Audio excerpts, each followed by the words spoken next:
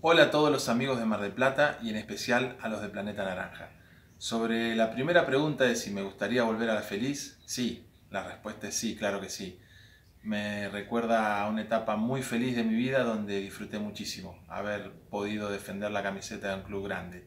Lo intenté hace dos años, me comuniqué con Miguel Belsa, pero bueno, en mi rol de formador el club está cubierto, tiene muy bien armado su organigrama de trabajo y yo no tenía lugar. Pero me encantaría que la vida alguna vez me sorprenda con tan lindo gesto que sería poder trabajar en las inferiores y formar jugadores. Para mí está todo bien con la tecnología y con el marco teórico, pero para transmitirle esa pasión y esa magia que el jugador de Peñarol necesita, tiene que ser, eh, desde mi humilde opinión, alguien que también haya pisado y transpirado el parque. Sí, me veo en mi rol de formador. De hecho, he tenido la posibilidad de dirigir en su momento a dos jugadores que llegaron a la selección argentina, como son los hermanos Cáfaro, Agustín y Esteban. Así que hace muchos años vengo trabajando en formación, desde mi época en el Club Atlético Ceres Unión, pasando por muchos otros clubes, aprendices de Casilda, talleres de Villa de Gobernador Galvez, donde dirigí en inferiores a jugadores que jugaban en la selección santafesina, mi etapa en Firmar Foga Club como formador, donde también pude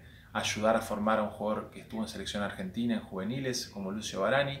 Sí me veo en ese rol, de hecho en el sur lo he hecho bastante también en mi experiencia en Puerto Deseado y en Gobernador Gregores. Ahora trabajando en Boca de Río Gallegos y con los planteles estables de las selecciones santacruceñas, ojalá pueda poner mi granito de arena. Soy un apasionado, el año pasado me tocó dirigir desde cebollitas hasta los equipos de veterano en la ciudad donde estaba, acá en Santa Cruz, y lo hice con muchísimo placer y muchísima pasión, porque es lo que realmente me mueve.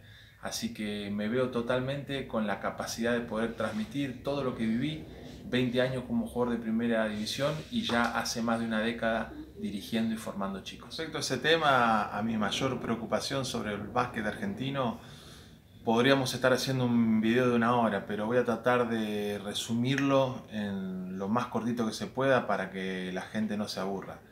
Me parece que a nivel entrenadores eh, nos falta muchísimo, nos falta poner en valor eh, la tarea de los entrenadores, específicamente de los formadores. Argentina es un país donde el más pelotudo de todos dirige primera división y cobra una fortuna, y los mejores, que son los formadores que están día a día generando materia prima, cobran chauchas y palitos y generalmente tenés que ir corriendo un dirigente para que te pague. Ese me parece que es el problema fundacional, invertir tantos recursos en primera división y tan poquito abajo. Más allá de que el método CAB está buenísimo y de que yo adhiero a esta conducción nacional de Fabián Borro y todo el equipo de trabajo, me parece que la pandemia nos puso en una dificultad terrible para lo que es el armado.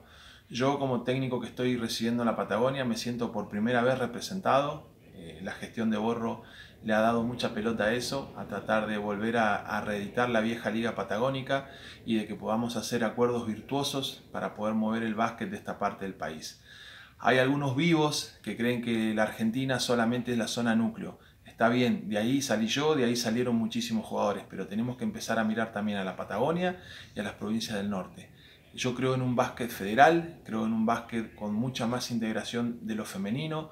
No puede ser que sigamos siendo los mismos pavotes de hace 40 años que dedicamos todos los recursos al básquet masculino. Hay gente que está luchando, yo tengo un referente en el básquetbol que se llama Mauricio Gómez Bull, que lucha por un básquet que tenga conciencia y perspectiva de género. Las mujeres se organizan mucho mejor que nosotros los hombres, pasa que no tienen recursos y eso a veces se ve en algunas selecciones y en los armados de la liga.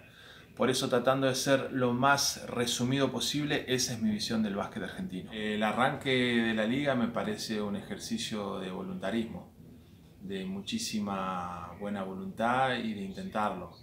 Eh, hay mucha, mucha gente que depende de esto, muchas fuentes laborales, organizaciones que si no hay partidos realmente se empiezan a morir, porque en un momento se nos agotaron los Instagram de recuerdos, los Zooms de las anécdotas del deporte allá en el pasado, rememoramos todas las efemérides, pero en un momento nos quedamos con que no hay competencia. Y bueno, a pesar de que es prueba y error, porque en esto quiero ser bien claro, el mundo está complicado, es muy difícil Ahora en Europa dicen que ya no se va a permitir público en las gradas, ni el mínimo que estaban permitiendo.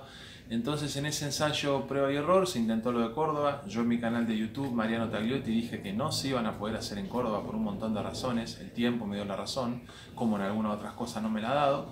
Y ahora deseo lo mejor, estamos enloquecidos con mi hijo Valentino y mi mujer Agustina, somos fanáticos del deporte y de la liga especialmente, especialmente de la liga y queremos ver los partidos. Así que me voy a organizar con mi laburo y me voy a ver por streaming todos los partidos de la liga, siguiendo a mis tres equipos a Peñarol, del cual soy hincha de toda la vida, a Hispanoamericano, que es un equipo que está haciendo un esfuerzo muy grande acá de la Patagonia, y a Regata de Corrientes, donde está mi amigo y mentor Lucas Javier Victoriano. De que empiece la A antes que el resto de las categorías, ahí hay un, un tema de debate muy profundo.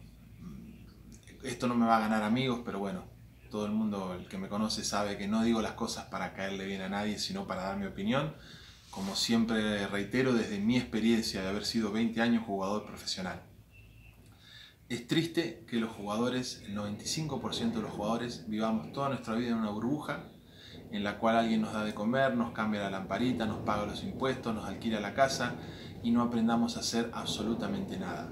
Hoy tenemos un grupo de un montón de pibes dando vuelta por el país antes de que sucediera esto, que si los sacás de la cancha y la PlayStation no saben ni siquiera dónde viven. Algunos no ni siquiera se acuerdan de en dónde jugaron. Y conozco ejemplos de eso.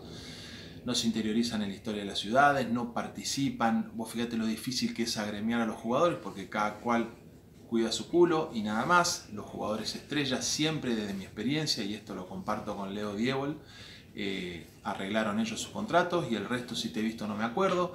Entonces el problema que tenemos es estructural. ¿Va a volver la Liga A? Sí. ¿Por qué? Porque genera más dinero. El federal y el TNA lamentablemente no mueven el amperímetro y hay un montón de jugadores sufriendo. Y yo he llegado a llorar escuchando testimonios de muchachos que no tenían para comer o mandarle, depositarle 2.000, 2.500 pesos a jugadores que no tenían para comer. Pero también digo que tendría que ser obligatorio cuando un club recluta a un jugador, obligarlo a hacer capacitaciones, talleres, darle un oficio. Muchachos, acá en la historia de este país corrimos todos para que Leo Gutiérrez salga campeón y se llene de guita. ¿Qué quiero decir con esto? Que los que se salvaron me sobran los dedos de esta mano para contarlo. Entonces, déjense hinchar las pelotas con dirigirle todo los esfuerzos de la vida al básquet y busquen otra opción. Lo cuento desde mi experiencia personal, eh, estiré mucho el retiro y el retiro es un fierrazo en la cabeza. Y si no tenés otra vía de ingreso, lo más probable es que pase hambre. Pero no solamente en